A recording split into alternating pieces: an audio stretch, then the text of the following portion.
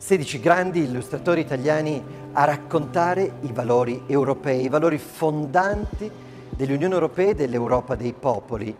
Allora, oggi a Torino, in piazza San Carlo e in via Po, abbiamo una narrazione silenziosa, la narrazione fatta da giovani illustratori che senza parole, solo con immagini, riescono a parlare a chiunque. E quindi i nostri valori, i valori della libertà, della democrazia, della pace, dello Stato di diritto, della dignità e del rispetto dei diritti umani, ma anche la cultura, la scienza, tutto ciò che è stata Europa.